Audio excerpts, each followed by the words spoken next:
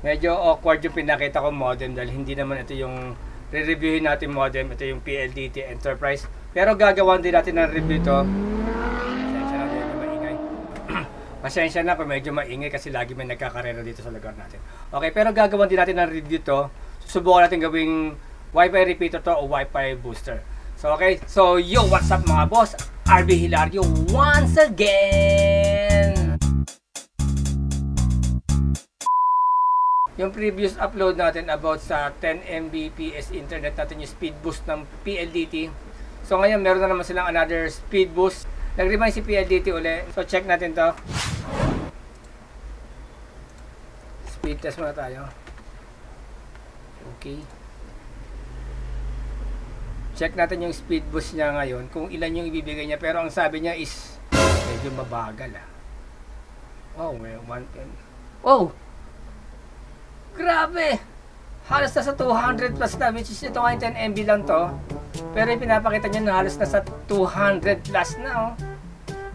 Malalaman natin yan sa upload. Wow, grabe, 204!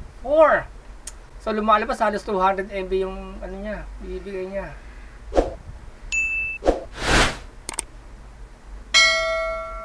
So okay siya, oh.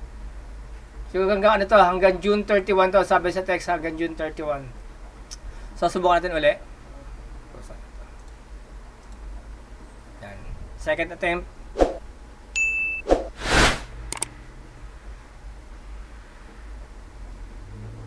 Baka chamba na. Uy, talagang ano siya oh. Okay si PL dito no, 10 MB from 10 MB to 200 plus MB. Ganda.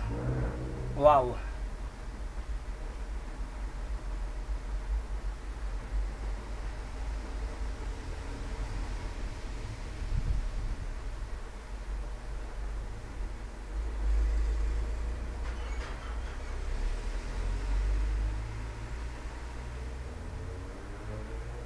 So, ayan yung result niya. Pinaka first attempt niya, tsaka second attempt niya. Halos hindi nagkalayo. Paras parehas na. Lumalabas pa rin, nasa 200 MB pa rin yung yung speed boost na binigay ni